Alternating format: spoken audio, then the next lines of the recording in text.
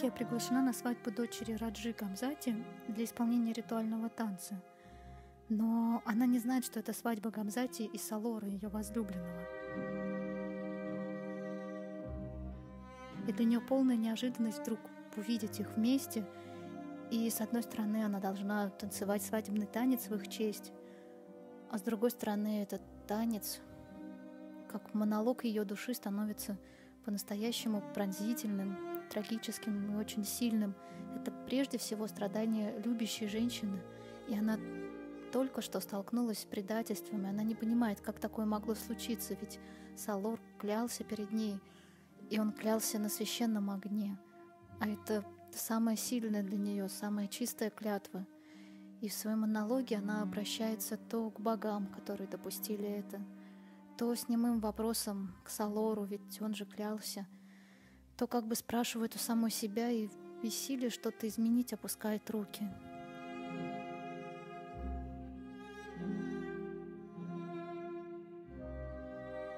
Это очень выразительный монолог, где каждый исполнитель может сыграть его немного по-разному.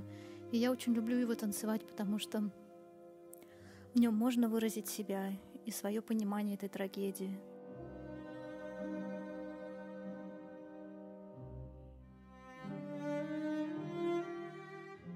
Кульминацией монолога становится танец Ники с корзинкой, где спрятана змея, будущая смерть Ники. Но, конечно, не зная этого и думая, что корзина с цветами — это подарок от Салора, она практически в выступлении в очень быстром темпе завершает свой танец и нежно, как самое дорогое, что у нее осталось, обнимает корзину. И здесь змея, которую подложила Гамзати, смертельно жалит ее.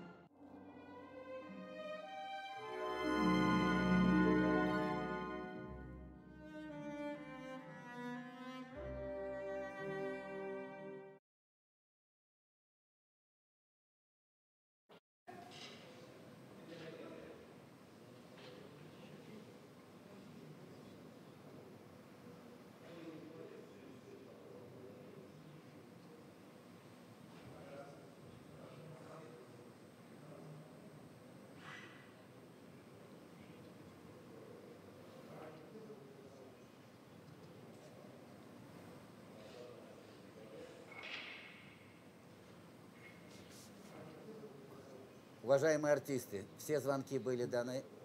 Через 4 минуты начинаем спектакль.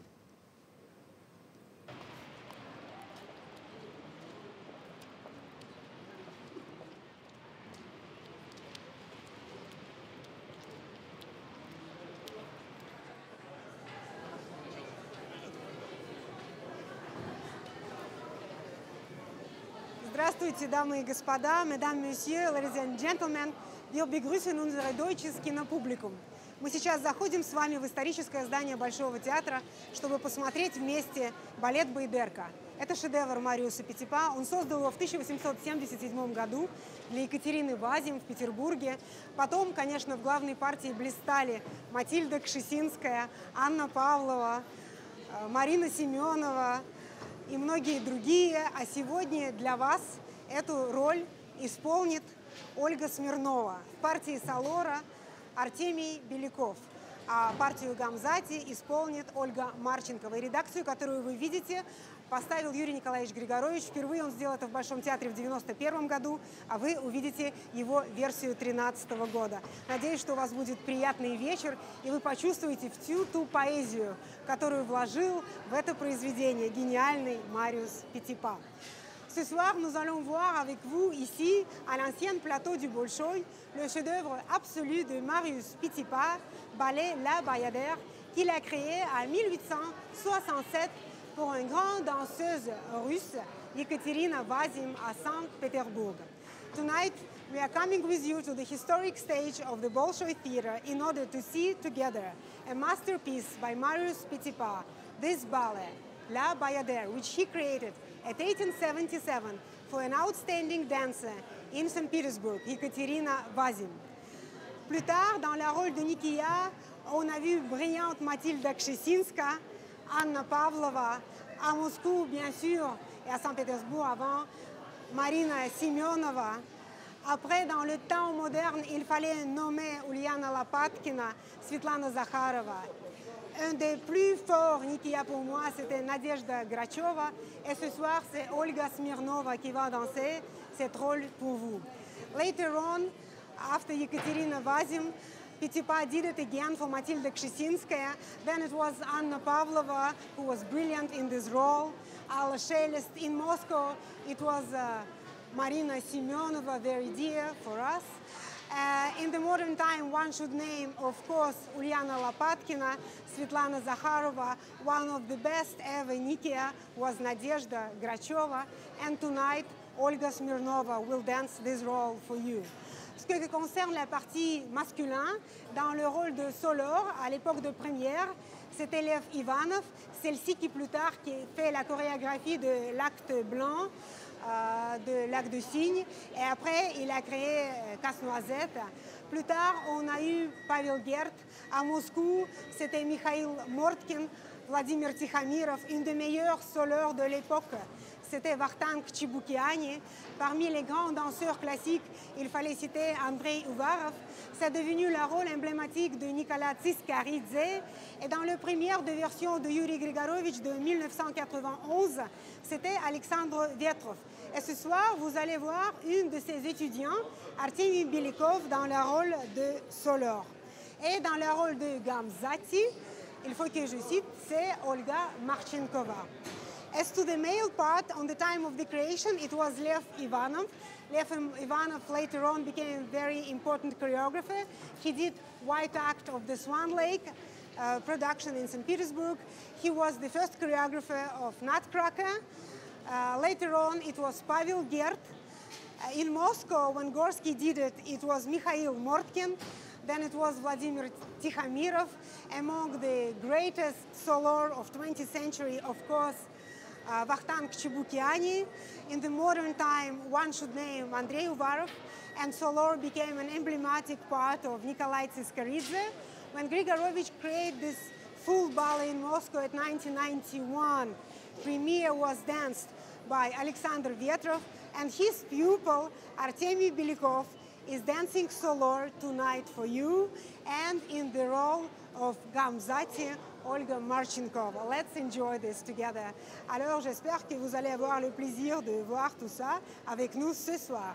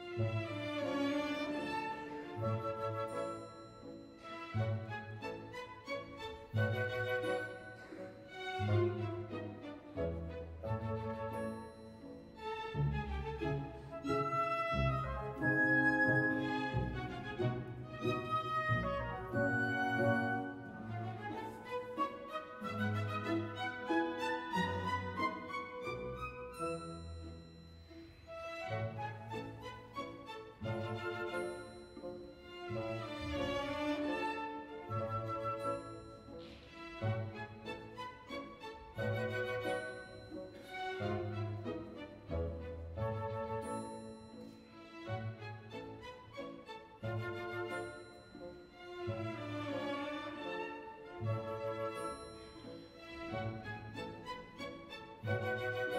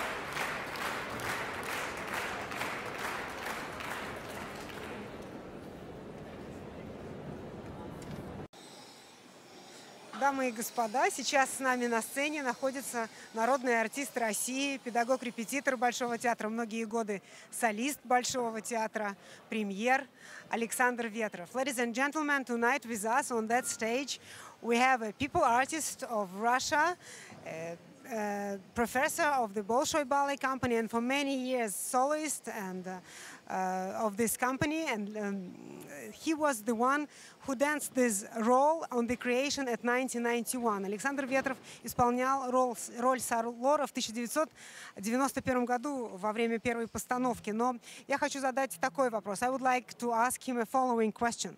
The West for the first time discovered just the third act, The Shadows, only at 1961. And I know that for many years in the Bolshoi repertoire they also had only Shadows. But then Grigorovich decided to do at 1991 the full version. That's what you are watching watching tonight. Um, I would like to ask Alexander when he himself saw Bayadere as a fool for first time and how he took this novel for himself, that he would be Salor in the full production. Я знаю, что Запад впервые узнал этот балет через тени только в 1961 году, увидели в исполнении Кировского театра. И знаю, что Большой тоже долгие годы исполнял именно тени. Как вы сами впервые, когда увидели Байдерку полностью, и как вы восприняли новость, что театр собирается ставить этот балет, и именно вы будете исполнять роль Салора? Вы знаете, роль э, Салора мне конечно, очень и очень нравилось всегда. Вот, я видел этот балет постановки Киевского театра. Вот. Но у нас, да, как вы правильно сказали... Surely I love this part of Solor for many, many years, and I saw this production on the stage of Kirov Theater, but as you rightly pointed down... Да, но у нас шли только тени, к сожалению, да. We вот. had only shadows, unfortunately. Вот. Когда я был маленьким, мне эта вариация, которая известна вот постановке, можно сказать, Чебукиане, известная вариация «Орла», во втором акте очень и очень нравилось всегда. И это была моей мечтой станцевать именно эту вариацию. When I was a small boy, I always loved so much this variation which Chibukiani stage in second act you will see it, like eagle variation. I loved it and I dreamed to dance it always.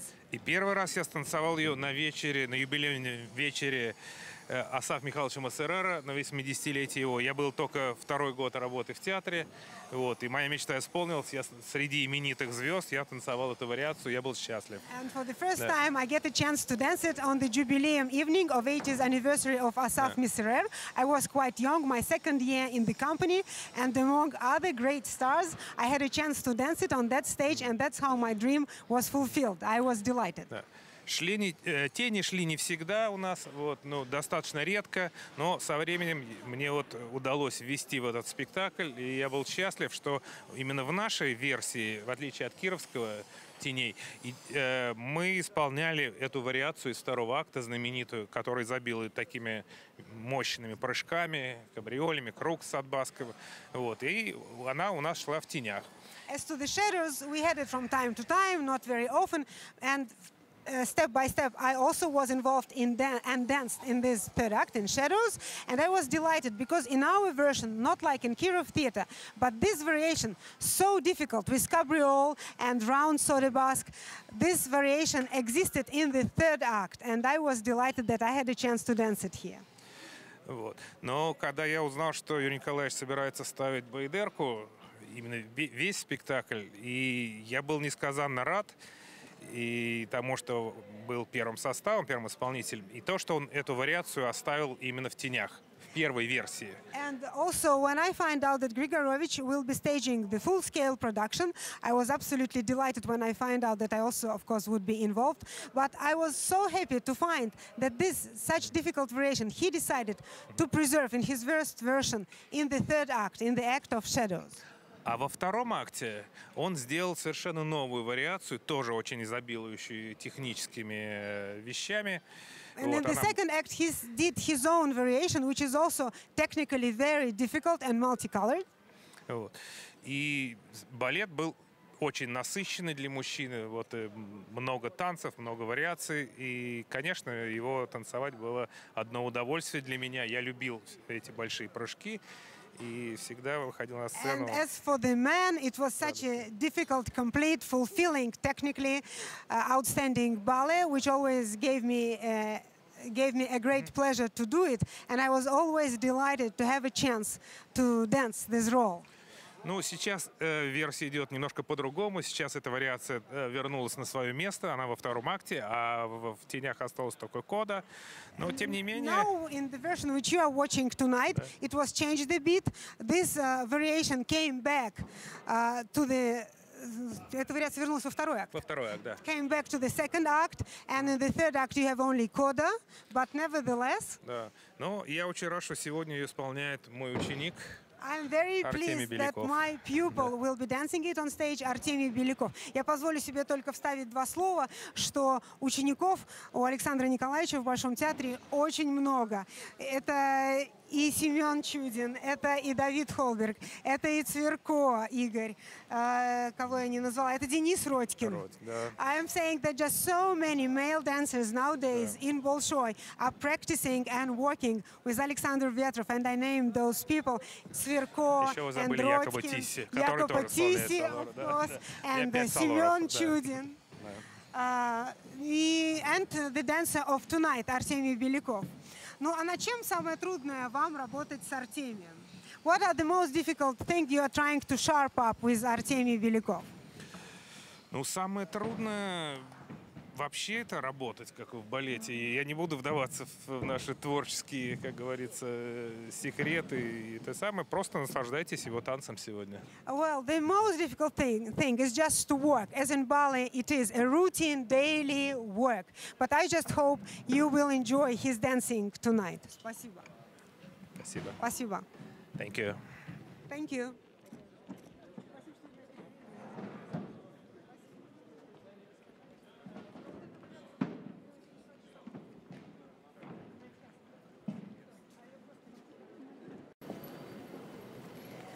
Alors, euh, parmi les sources de ce ballet, la Bayadère, on parle de ballet L'ombre de Talion-Hyper qui était fait à Saint-Pétersbourg.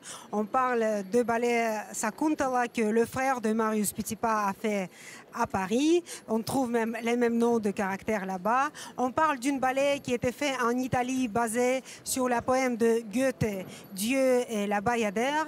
Mais on a des deux sources inentendues et une c'est le voyage de Prince de Galles fait en 1875-76 en Inde et l'autre c'est la création de Aïda à Saint-Pétersbourg, la première de cet opéra de Verdi.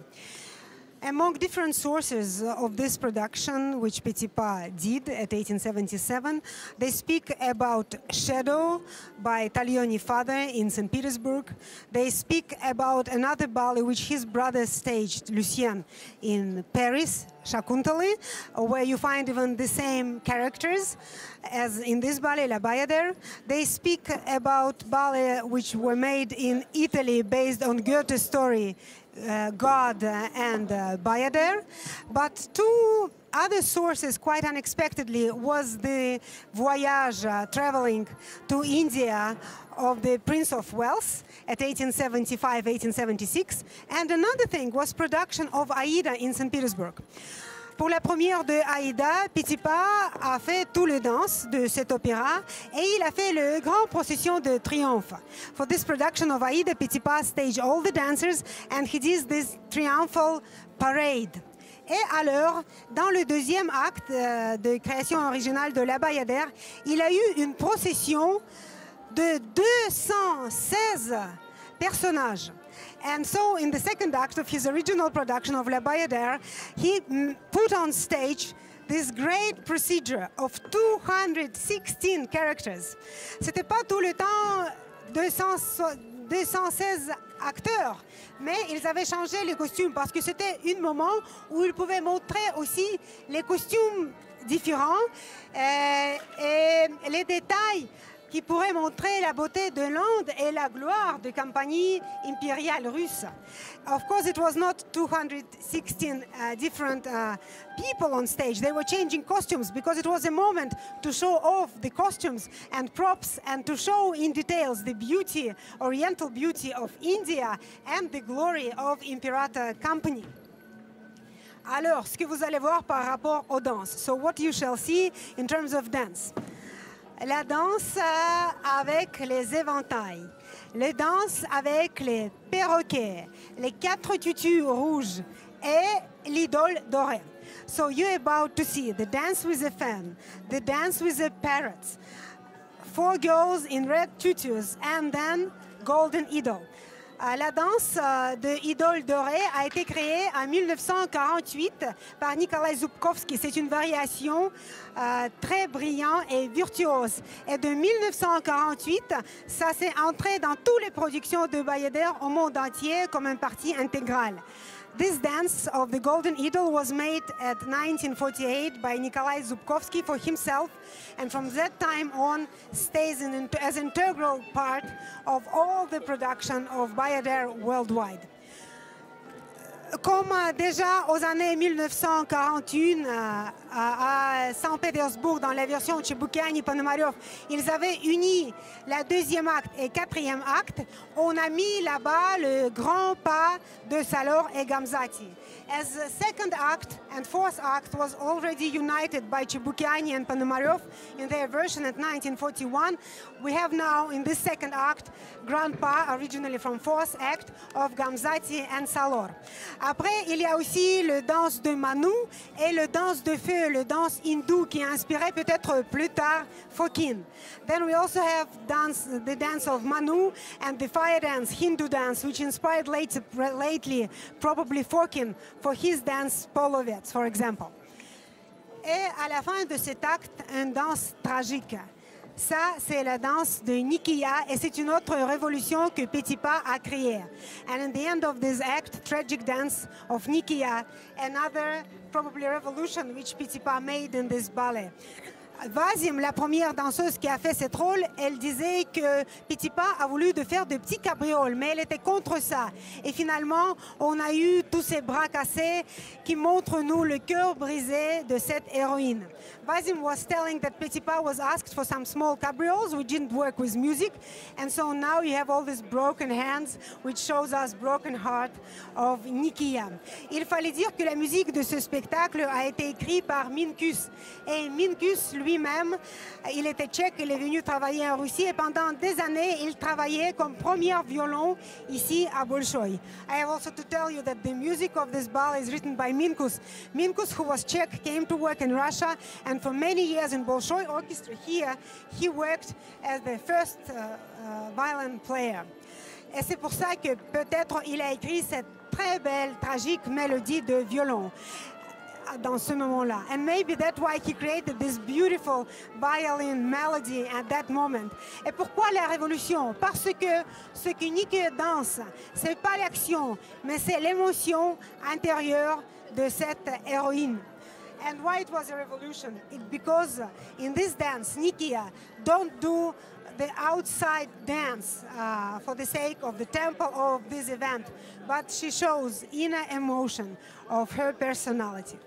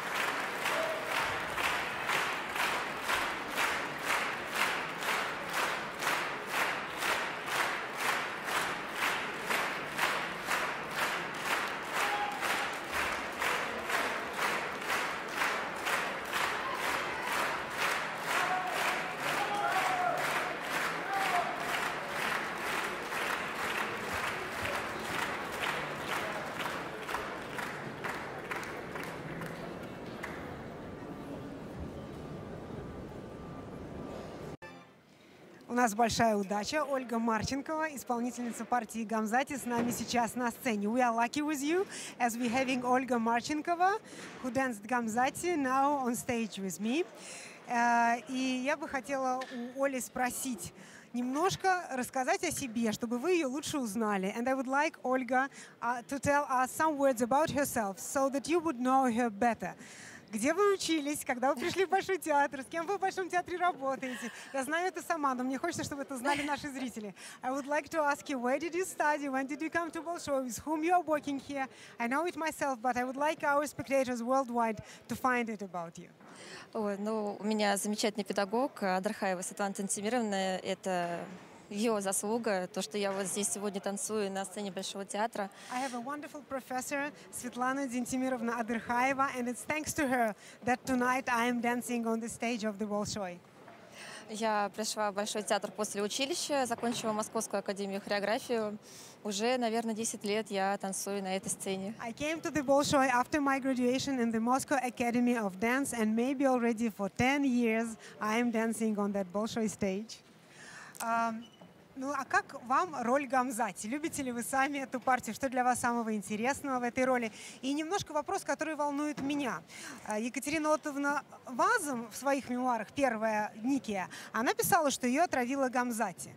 Но по либретто Худякова и Пятипа все-таки это делает Раджа. В том, что мы видим сегодня, какая роль, какое участие в этом злодействе вашей героини? I would like Olga to tell us few words about this role Gamzati, how she likes it, what is most difficult probably in this role. And also Ekaterina Vazim, the first Nikia, was writing that it was Gamzati who is poisoning her. Though in the libretto of Petipa and Hudikov, it's written clearly that Raja is poisoning Nikia. So according, um, according to Olga, how her character Gamzati is involved in this massacre? Ну, для меня Гамзати, я бы, наверное, сказала, что она очень близка, потому что я очень давно мечтала ее станцевать. И I would say that Gamzati is rather close to me, as for a long time I was dreaming to do this part. каждый день, э, и каждый спектакль, она все время разная. Никогда не бывает, что она повторяется. And every performance, she's different. Never ever uh, it's repetitive and she's the same on stage as a character. Но в нашей редакции придерживаемся того, что не Гамзати отравляет Никию, а все-таки делает ее отец. In our version, it's not Gamzati who is involved in this poisoning. Her father does it for her. Хоть она и властная, самодостаточная, уверенная, красивая, но все же она женщина, она как бы э, имеет и слабость в какой-то степени. Мне очень нравится этот образ, потому что каждой репетиции, благодаря своему педагогу, мы находим новые нюансы и э, благодаря Светлане Семирной, которая очень много подсказывает мне, так и рождается образ Uh, so, to my mind, Gamzati is uh, very close to me, and I think in our version, as she is not poisoning, also mm, uh, Nikia, she is a human being. She, of course, she is a ruler. She is sure of herself. Uh, she is. Um, uh, maybe severe in some moments, but she has also some tenderness. And uh, I like very much to rehearse this part as well as Svetlana Aderkhaeva always gives me some new comments, and that how step by step this image is built on stage. Сегодня наш оркестр играет, и за пультом стоит маэстро Сорокин. Я хочу спросить, удобно ли вам было танцевать и помогает ли вам музыка. Uh, tonight our orchestra plays under the button of Maestro Sorokin, and I would like to ask, was it comfortable for you to dance tonight, and whether music is helping you? Ну, у нас прекрасный дирижер, и на самом деле он всегда подходит перед началом спектакля и спрашивает, какие пожелания, что бы мы хотели. И мы все время как-то договариваемся, и даже когда, например, выходишь на вариацию, я смотрю на него, он мне так подмигивает, вот, и после этого мы начинаем. И настроение хорошее у всех, и как-то мы, в общем, друг друга поддерживаем. Frankly saying, we have a wonderful maestro. Before the performance, he always come to see us and he uh, asks us for our wishes. And then we come to the accordance with him. And even when I do come on stage, he's winkling like this to me with his eye. And I'm always before my variation, which always sets me in a good mood. So we always uh, do uh, support each other. Спасибо вам большое, Спасибо Оля. И большое. поздравляю вас с этим спектаклем. Thank you very much and my Спасибо. congratulations.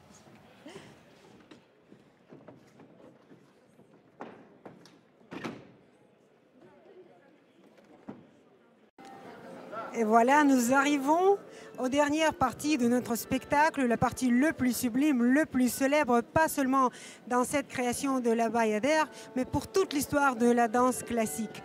La partie qui s'appelle le royaume des ombres. So we're coming with you to the most splendid and famous and important part of our evening, not just for this production or for this ballet Bayadère, but for the whole history of world classical ballet. And the name of this act is Kingdom of Shades.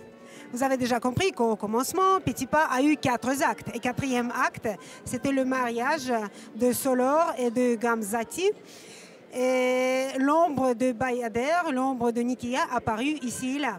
You already understood that in the original production, uh, Petit Pas had four acts, and in the fourth act, it was a wedding between Solor and Gamzati, and just the image of Nikia was appearing here and uh, there. Et c'était même une idée assez osante parce que à la fin, le monde humain a créé telle tension et telle émotion que le colère divine a fait un tremblement de terre horrible et le palais ou le temple qui était détruit a tué tous les héros, y compris les gouverneurs, et les chefs d'État et les prêtres principaux.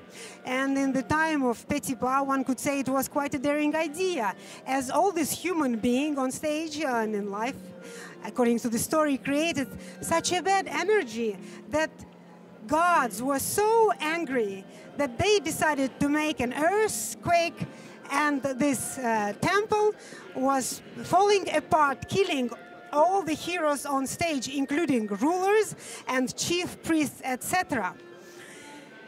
Alors, dans la version de Grigorovitch, tout finit avec troisième acte. So, in the version which you are watching tonight, everything will end with this third act. Mais au commencement de cet acte, vous allez voir les danses des fakirs, et ça, c'est les danses qui étaient créées par Grigorovitch lui-même.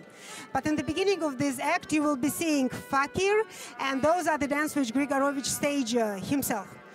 Quand Petit Pas a créé cet acte, c'était à l'ancien théâtre euh, de Pierre de Saint-Pétersbourg, il a eu 64 filles au plateau.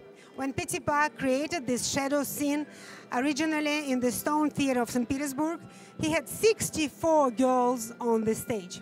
Après, quand il a refait cette version pour Krzeszynska en 1900, il a eu 32 danseuses de la compagnie et 12 filles de l'école pour donner une perspective pour cette ligne zigzag.